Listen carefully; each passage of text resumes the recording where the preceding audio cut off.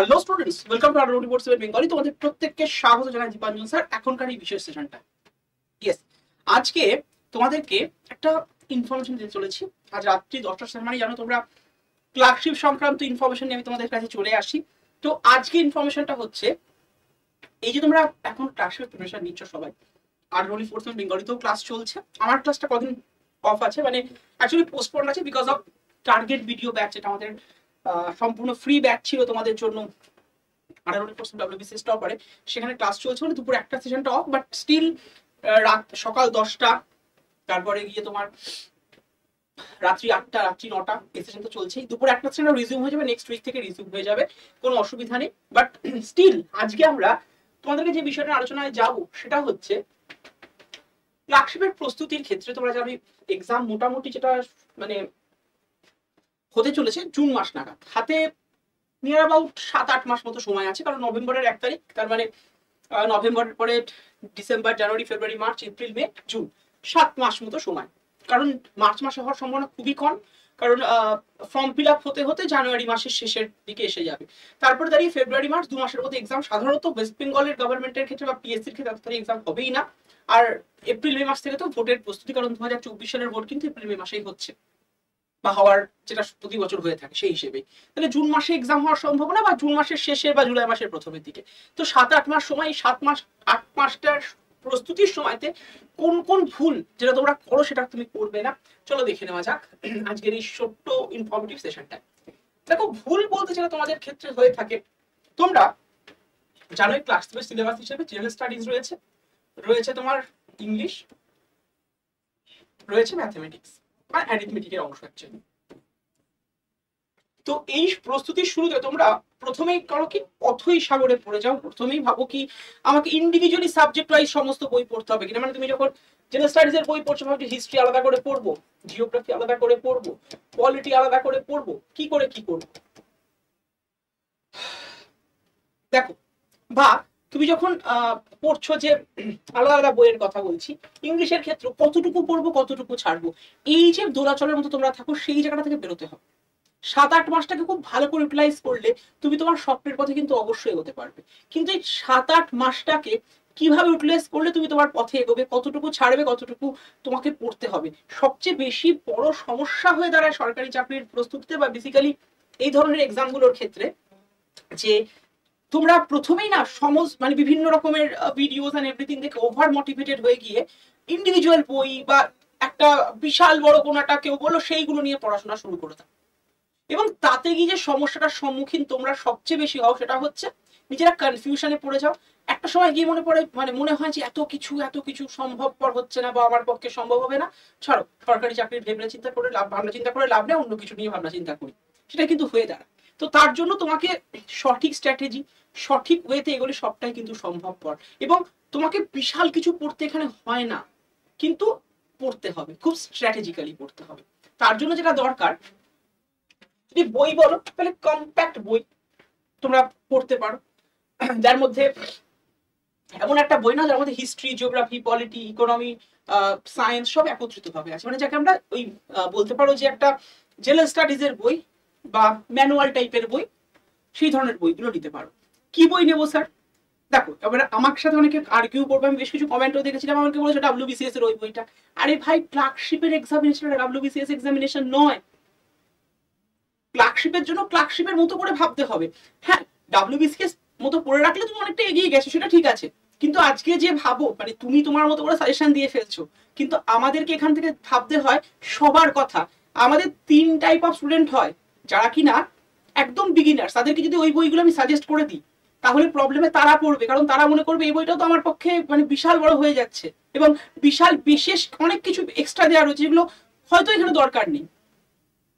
হ্যাঁ যারা যারা প্রিপারেশন ফেজের মধ্যে আছো, তারা নিজেরাই রিলেজ করতে পারো কতটা দরকার, কতটুকু দরকার হবে না। আর আরেকটা সেকশন যারা দীর্ঘদিন পড়াশোনার সাথে ডিটাচ মানে বিগিনার্সদের মতোই তাদের অবস্থা। তো সবার জন্য যেটা হয়, এমন একটা বই পড়ো, যেটা করে তুমি খুব একটা সমস্যার মধ্যে না পড়ো এবং ঠিকঠাকভাবে প্রিপারেশন এগোয়। সেক্ষেত্রে আমি সবসময় সাজেস্ট করব আটা টোয়েন্টি ফোর সেভেনের যে জেনারেল নলেজের বই সেটা এবার অনেকে এটা নিয়ে বলবে, স্যার, এটা অ্যাভারেজ টাইপ অফ বই। একদমই তাই, এটা অ্যাভারেজ টাইপ অফ বই। কারণ এটা average type of exam food SI বা ক্লার্কশিপ এগুলো মাধ্যমিক লেভেলের এক্সাম এটা গ্রাজুয়েশন লেভেলের এক্সাম নয়। শেখের জন্য তুমি মানে আমার সাথে যারা যারা ক্লাস করো বা আমাদের যে ক্লাসগুলো ফলো করো, তোমরা দেখবে টার্গেট ডাব্লিউবিসিএস ব্যাচে আমি যে লেভেলের কোয়ালিটির প্রশ্ন করাচ্ছি, ঠিক তার থেকে অনেকটাই অন্য লেভেলের প্রশ্ন অন্য কম লেভেলের প্রশ্ন আমি কিন্তু আমাদের ক্লাসশিপের ব্যাচ ক্লাসশিপের যে ক্লাসগুলো হচ্ছে বা ফুড এসআই ক্লাসগুলো হচ্ছে এখানে ইউটিউবে সেখানে করাচ্ছি। কারণ ডাব্লিউবিসিএস এর মতো ওটা লাগবে না এখানে, এটাই ব্যাপার। এবং এই বইটাও ঠিক ডাব্লিউবিসিএস এর বই নয়, আমি কখনো ডাব্লিউবিসিএস এর ক্ষেত্রে আমরা এই বইটাকে সাজেস্ট করি না। এই বইটা জাস্ট ফর এই ফুড এসআই বা ক্লার্কশিপ লেভেলের টেন্থ লেভেল মানে মাধ্যমিক লেভেলের যে এক্সামসগুলো হয়, তার জন্য এই বইটা। অথেন্টিক বই, দারুণ বই। ফর দিস এক্সাম দারুণ বই বলছি ওই কারণে কারণ এই এক্সামগুলোর জন্য সেটা ঠিকঠাক। Not for WBCS WBCS benchmark হিসেবে যারা যারা তাদের ক্ষেত্রে এই বইটা সত্যি সত্যি খুব একটা ভালো নয়। কিন্তু এই এক্সামটার জন্য অ্যাপ্রোপ্রিয়েট ফর ক্লার্কশিপ এক্সামিনেশন ইংলিশের ক্ষেত্রে আডার টোয়েন্টি ফোর্সমেন্টের বই নিতে পারো। চাইলে তোমরা ইংলিশে যেহেতু এরার কারেকশন এভরিথিং রয়েছে আডার টোয়েন্টি ফোর্সমেন্ট ইংলিশের বই নো ডাউট ভালো। তার পাশাপাশি তোমরা যদি মনে করো যে এস বিভাগ সেটাও পড়তে পারো, ভালো বই, ঠিকঠাক আছে বইটা। এবং ম্যাথের জন্য তোমরা ফলো করতে পারো আঠারো ডিফোর্সের ম্যাথের বই অ্যারিথমেটিকের বই। অ্যাডভান্স ম্যাথেরটা নয়, কিন্তু অ্যারিথমেটিকের বই অথবা সুবীর দাসের বই যে কোনো একটা। এবার তোমাদের যদি মনে হয় যে, স্যার, আলাদা আলাদা করে বই নেব।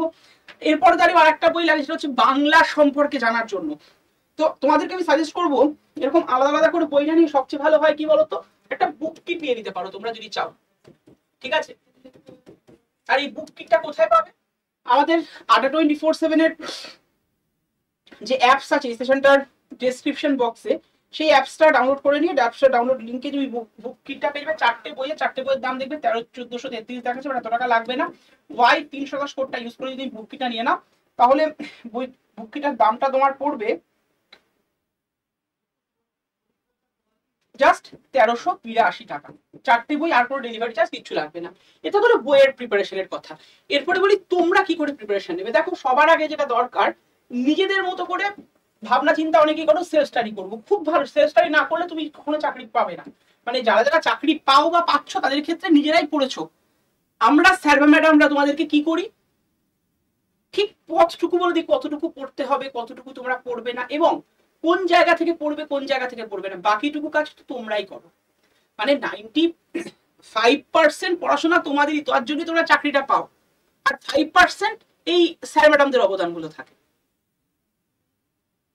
তো এর জন্য আমরা যদি দেখি, আমরা তিন ধরনের স্টুডেন্ট পাই। একটা হচ্ছে যারা হচ্ছে বিগিনার শুরু করছে। একদম শুরুতে রয়েছে। যারা দু তিন বছর বা চার পাঁচ বছর পড়াশোনা করেছ আরেকটা মানে পড়াশোনা ছেড়ে দিয়েছ দীর্ঘদিনের জন্য। ছেড়ে দিয়েছ। এবার মনে করছ যে চাকরির পরীক্ষার ফর্ম ফিল যেহেতু বেরিয়ে বেরোচ্ছে এবং যেহেতু এজ গ্রুপটা চল্লিশের মধ্যে আমার দেওয়া যেতে পারে। তো যারা যদি শুরুতে বা বেরোনোতে আছো বা বেরিয়ে গেছো অনেকদিন, আবার নতুন করে শুরু করবে, তাদের জন্য বলব যে কোনো একটা মেন্টারশিপ তোমরা নাও। যে কারোর কাছে, তোমার বাড়ির পাশে দাদা, দিদি, ভাই, বোন, যাকে মনে হচ্ছে তোমার তোমাকে মেন্টারশিপ দিতে পারবে, তার কাছে মেন্টারশিপ নাও। যদি মনে হয় কোনো অনলাইন বা অফলাইন স্টুডেন্ট মেন্টারশিপ দিতে পারবে, নিতে পারো। আটা টোয়েন্টি ফোর সেভেনও কিন্তু সেই মেন্টারশিপ প্রোগ্রামটা রয়েছে মানে আট ক্লার্কশিপের ব্যাচ রয়েছে, তোমরা এনরোল করতে পারো। চব্বিশশো দশ টাকা পড়বে যদি তুমি Y three two seven coupon কোডটা অ্যাপ্লাই করে ক্লার্কশিপের ব্যাচটা নাও। এটা এটা কিন্তু শুরু আর যারা ছেড়ে দিচ্ছে তাদের জন্য। আর যারা চার পাঁচ বছর ধরে পড়াশোনার মধ্যে রয়েছে, তাদের জন্য আমি বলব না যে মেন্টারশিপটার খুব বেশি দরকার আছে। যদি তোমার প্রিপারেশনটা ঠিকঠাক থাকে তবে তবে যদি মনে হয় যে প্রিপারেশন আমার ঠিকঠাক নেই, তবে অবশ্যই ভাই কোথাও একটা মেন্টারশিপ নিয়ে নাও। আমি, আমরা কখনোই ব্যাপার নয় যে তোমার আমি আগে এনফোর্সমেন্ট নিতে হবে ইট ইজ দ্য বেস্ট এরকম হতে পারে না। তোমার যেখানে মনে হচ্ছে তুমি যাকে পছন্দ করছ, কারণ তুমি যখন একজন অ্যাডাল্ট পার্সন তুমি নিজের ভালো বা নিজের মন্দটুকু অবশ্যই বোঝো।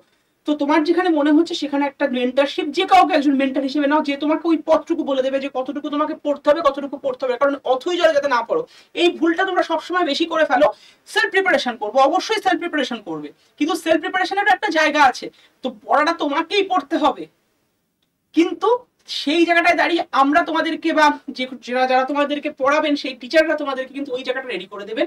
কতটুকু পড়বে কতটুকু পড়বে না, কতটুকু রাখবে কতটুকু রাখবে, লাগবে না, এই জায়গাটুকু কিন্তু সবার আগে দরকার। এইটুকু রেডি হয়ে গেলে দেখবে আর মনে হচ্ছে না, অথই সমুদ্রে ভেসে আছে তখন মনে হবে, না, আমি সাঁতারটা কাটতে পারব, আমি সাঁতরে আমার লক্ষ্যে পৌঁছতে পারব। তো এই সাঁতার কাটাটা একটু শিখতে হয়। না হলে কিন্তু অসুবিধায় পড়তে হয়। আর এই যে বললাম, এরা আশা রাখা যায় চার থেকে পাঁচ বছর বা দু তিন বছর যারা প্রিপারেশনের ফেজে আছে, তারা এই সাঁতার কাটার পদ্ধতিটুকু জানো। যে কীভাবে গেলে আমি সাঁতারটা কাটতে পারব। আর যারা জানো না, তারা কিন্তু যে কোনো জায়গায় একটা মেন্টারশিপ প্রোগ্রামের জয়েন করে যাও। Under twenty four seminar clerkship mentorship program আছে। সেখানে তোমরা জয়েন হয়ে যেতে পারো। সেখানে কমপ্লিট প্রিপারেশন পেয়ে যাবে। চব্বিশশো দশ টাকা ভ্যালুটা পড়বে। যদি তুমি ওয়াই তিনশো সাতাশ যে কোডটা বলা আছে, এই কোডটা ইউজ করে এনরোল করে নাও। ঠিক আছে? সো চলো, আর তোমাদেরকে জানিয়ে রাখি, এখানে কিন্তু সম্পূর্ণ ফ্রিতে ক্লাস চলছে। সেই ক্লাসগুলো তোমরা অ্যাটেন্ড করতে পারো। এবং তোমাদেরকে জানিয়ে রাখি আমাদের আন্ডার ফোর্স যে অ্যাপসটা আছে, সেই অ্যাপসটা তোমরা নেবে daily current current affairs job alert daily quiz free PDF everything তোমরা কিন্তু সবটা এখান থেকে পেয়ে যাবে এবং আমাদের যে ডেলি কারেন্ট অ্যাফেয়ার্স ম্যাগাজিন সেটা কিন্তু এখান থেকে তোমরা পেয়ে যাবে। থ্যাংক ইউ আমাদের এখানে এন্ড করছি। দেখা হচ্ছে এরকম একটা ইনফরমেটিভ সেশন নেক্সট দিনকে। খুব ভালো থেকো এবং নিজের স্বপ্নকে পূরণ করার বেঙ্গলির হাত ধরে। Thank you thank you to all of you